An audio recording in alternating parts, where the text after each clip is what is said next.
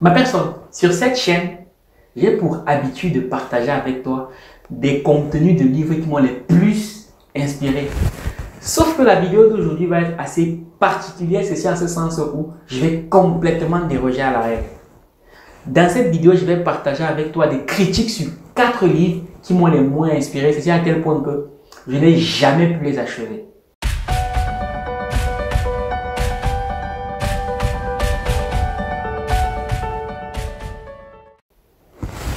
Bonjour ma personne personnelle, j'espère que tu vas bien et j'espère que comme moi tu as soif de réussir. Et bien si c'est le cas, on est ensemble. tu l'auras bien compris dans la vidéo d'aujourd'hui, je vais porter la casquette d'un critique littéraire. Je vais critiquer les contenus de livres que j'ai lus. Je tiens à préciser une chose, c'est que cette vidéo n'a pas pour but de critiquer les auteurs. Attention, il faut qu'on soit clair là-dessus. Cette vidéo a pour but de critiquer ce que je n'ai pas apprécié dans les livres dont je vais te parler tout de suite. Mais avant de continuer ma personne, permets-moi de partager trois annonces avec toi. 1. Abonne-toi si ce n'est pas encore fait. 2. Clique sur la cloche de notification. Ceci afin d'être informé pour toutes les prochaines vidéos que je partagerai avec toi qui vont t'enrichir encore et encore. Et troisième annonce, ma personne, tu ne le sais peut-être pas, mais depuis le 13 janvier 2021, mon livre qui s'intitule Un pied à l'école, un pied dans le business est disponible. Dans ce livre, je partage avec toi toutes les clés dont tu auras besoin pour toi aussi pouvoir lancer un business en parallèle de tes études. Parce que je suis bien conscient du fait que beaucoup d'étudiants veulent se lancer en business pour se générer une source de revenus. Mais très souvent, on a mille et un blocages psychologiques qui nous empêchent de nous lancer. Parmi ces blocages, j'en ai identifié trois principaux. Le manque d'argent, le manque de temps ou alors l'âge qui est encore très jeune. Ma personne, dans ce livre, je t'explique clairement comment moi, j'ai fait pour passer d'étudiant qui ne voulait pas du tout se lancer en business à étudiant qui a pu se lancer en business. Et si j'ai pu le faire, tout le monde peut le faire. Je partage avec toi les différentes astuces, les différentes clés que j'ai pu mettre en place pour moi aussi pouvoir me lancer et je pense que si j'ai pu le faire, toi aussi tu peux le faire. Cela étant ma personne, permets-moi de me présenter. Si tu ne me connais pas encore, je m'appelle Bélias Balia, je suis étudiant en cinquième année de médecine à la faculté d'Aix-Marseille en Provence. Mais je me définis aussi et surtout comme un étudiant chercheur d'argent parce que ma personne, j'ai compris que aller à l'école, c'est bien, avoir de bonnes notes, c'est bien, avoir un super diplôme, c'est bien.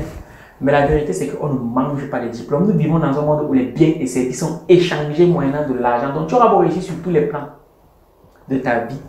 Mais si tu échoues sur le domaine financier, ton succès ne sera que partiel. Le quand je t'invite ma personne, c'est d'avoir un pied à l'école, un pied dans le business. Donc, maintenant que tu sais tout ça, ma personne, on peut tout de suite rentrer dans le sujet. Donc, comme je te disais tantôt, le premier livre dont je vais te parler, donc je n'ai pas du tout apprécié le contenu. C'est le livre, ça va te surprendre, c'est le livre de Madame Michelle Obama qui s'intitule Devenir Michelle Obama. Qui est Michelle Obama? Michelle Obama, c'est la femme de Barack Obama, qui est en fait l'ex-président des États-Unis d'Amérique. Alors, qu'est-ce que j'ai détesté dans ce livre? Je trouve que ce livre est trop gros pour rien. Parce qu'il fait plus de 500 pages et c'est en fait une autobiographie de Michelle Obama honnêtement, je pense qu'on aurait pu enlever énormément de détails dans ce livre. Notamment au début du livre, elle parle de sa sortie de la présidence des États-Unis. Elle dit qu'elle est sortie, elle est arrivée dans sa maison, elle a levé ses chaussures, elle a marché dans le jardin. Bref, des détails comme ça qui, à mon sens, n'apportent absolument rien sur ce que moi j'attendais en lisant ce livre. Donc juste ça, déjà le fait que le livre fasse un peu plus de 400 pages, qu'il soit aussi gros et qu'on rajoute des détails comme cela, honnêtement, je n'ai pas du tout apprécié. Je n'ai pas voulu aller plus loin. Parce qu'il n'y a rien de plus fatigant pour moi d'avoir l'impression que je perds mon temps à lire un livre quand je vois tous les autres livres que j'ai à lire. Donc je tiens quand même à préciser une chose. Je ne suis pas en train critiquer Madame Michelle Obama. Attention. Mais son livre-ci, honnêtement, moi, j'ai pas du tout apprécié. Bon, peut-être que toi, tu as lu, tu as apprécié. Si tu as apprécié quelque chose dans ce livre, si jamais tu l'as lu jusqu'au bout, n'hésite pas à le dire en commentaire, you know. Mais en tout cas, pour ma part, moi, j'ai détesté. Je m'attendais à quelque chose de beaucoup plus pertinent. Je m'attendais à quelque chose de beaucoup plus inspirant. Oui, tu me diras, je ne suis pas allé jusqu'au bout. Mais voilà, je n'ai pas pu aller jusqu'au bout parce que déjà d'entrée de jeu, moi j'ai trouvé ça ennuyeux. Alors, le deuxième livre dont je vais te parler, c'est un livre qui va te choquer. Parce que je sais que beaucoup de gens ont fait l'éloge de ce livre comme étant THE livre à lire. D'ailleurs, dans la communauté, vous êtes nombreux à plusieurs fois m'avoir demandé d'en faire un résumé. C'est à tel point que j'ai acheté le livre et j'ai lu plus de deux tiers du livre parce que j'espérais, connaissant l'auteur, j'espérais que ce livre vraiment, qu'il y ait quelque chose. Et malheureusement, j'ai été déçu. Alors, ce livre, c'est le livre de Robert Kiyosaki qui s'intitule Le cadran du cash flow. Je sais, d'aucuns m'ont dit, mais Valère, là, franchement, tu déconnes. D'habitude, tu proposes des livres, on se ouais, mais là, c'est quand même le cadran du cash flow, c'est quand même The Livre, quoi. Oui, c'est The Livre, mais je trouve qu'il aurait pu le faire en beaucoup plus court. Honnêtement, il aurait pu le faire en beaucoup plus court. S'il y a une chose à retenir de ce livre, c'est que le monde est structuré en quatre. On a les entrepreneurs, les investisseurs, les salariés et les auto-entrepreneurs. S'il y a une chose à retenir de ce livre, c'est cela en fait. Le cadran du cash flow est divisé en ces quatre cadrans, c'est tout. Mais j'ai trouvé qu'il s'est trop et euh, mais j'ai trouvé qu'il a trop épilogué sur des détails. Il se répétait plusieurs fois, notamment quand il dit que il a fait l'armée. Tout ça, il avait déjà dit dans son précédent livre, Père riche, Père pauvre. Lui, ma personne, peut-être tu ne connais pas qui est Robert Kiyosaki. Robert Kiyosaki, c'est un entrepreneur qui a fait fortune dans l'immobilier. Il est conférencier, auteur de plusieurs best-sellers aux États-Unis. Et c'est d'ailleurs aussi l'auteur du célèbre livre que je te conseille vivement de lire, qui s'intitule Père riche, Père pauvre, que j'ai lu et qui est excellent. Mais là, franchement, Robert Kiyosaki, moi j'ai trouvé que il se répétait énormément. J'ai trouvé que deux tiers de ses livres sont à jeter carrément parce qu'il fait que répéter ce qu'il a déjà dit dans Père riche, Père pauvre. Donc, il est fort probable que si tu n'as pas encore lu Père riche, Père pauvre, que tu apprécies beaucoup ce livre.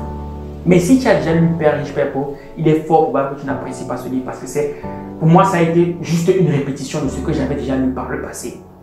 Donc voilà, Robert Kiyosaki, je t'aime bien, mais là, honnêtement, comme on dit, comme les Ivoiriens disent, tu as hyper.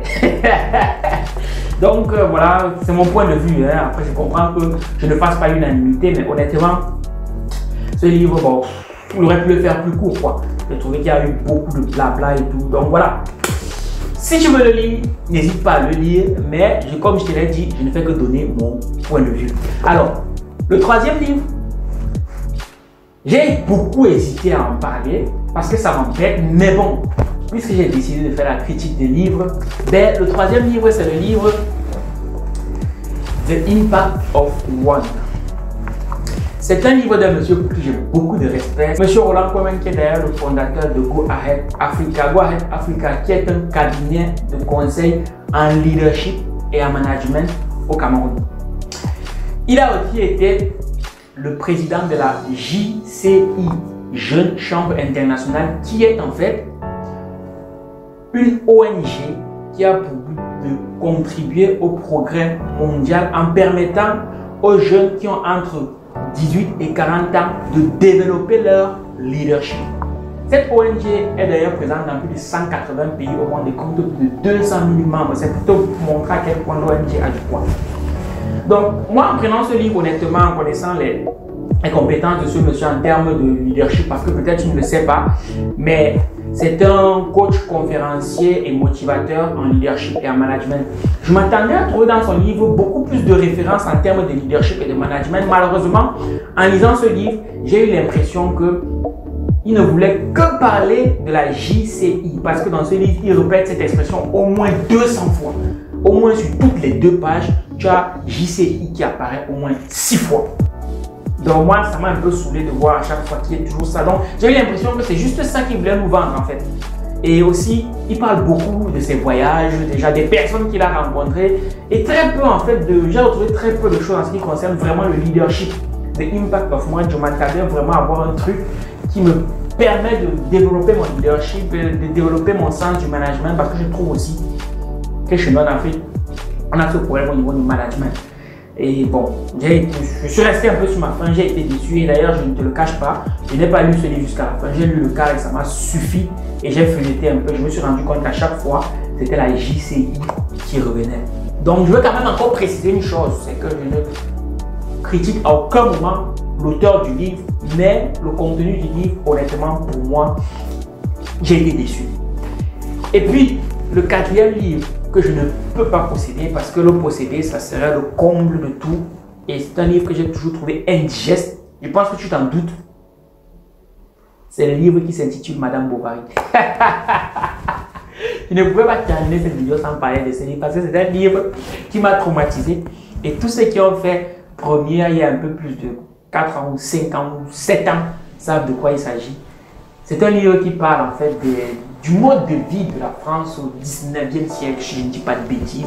Et ce livre nous a tellement vanté ce livre quand j'étais en classe de première comme étant ce livre à comprendre parce que le style d'écriture qui figurait était vraiment. Euh, voilà. Mais honnêtement, moi, je toujours trouvé dégueulasse et indigeste. Peu importe le style d'écriture qu'il y avait dedans, pour moi, ce dont il parlait dedans, ça ne me parlait pas du tout. D'ailleurs, je n'avais jamais de bonnes notes. Et vraiment, si toi aussi tu as lu ce livre, dis-le nous en commentaire ce que tu en as pensé. et d'ailleurs aussi pour tous les autres livres, The Impact of One, The Cadre du Cash Flow, si tu l'as trouvé intéressant, dis-le nous en commentaire ce que tu as aimé, ce que tu n'as pas aimé, dis-le nous aussi en commentaire. Peut-être que ça pourrait inspirer d'autres personnes à le lire ou pas du tout. Donc voilà ma personne en quoi consistait cette petite vidéo. Je sais que je n'ai pas habitué à ce genre de choses, mais bon, je me suis dit pourquoi pas? Si chaque jour on met certains livres en avant et qu'on fait, comment dire, une critique améliorative, je pense qu'à un moment donné, il faut aussi dire ce qu'on n'a pas du tout aimé sur certains livres. Donc voilà ma personne, ce que je voulais partager avec toi dans cette vidéo. J'espère qu'elle t'aura peut-être apporté le sourire ou pas du tout. Mais tu devrais te dire ma personne, on est ensemble et on se. Cherchons la Dis donc, cherchons la Cherchons la non. Cherchons la Cherchons la Dis donc, cherchons la Cherchons la